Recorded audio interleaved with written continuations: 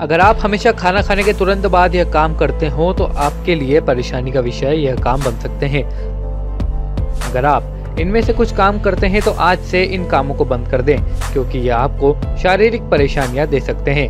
अगर आप खाना खाने के तुरंत बाद चाय पीते हैं तो इससे आपको पेट में जलन, सूजन आदि की समस्या हो सकती है। चाय और खाने के बीच कम से कम दो घंटे का फासला होना ही ज़रूरी होता है।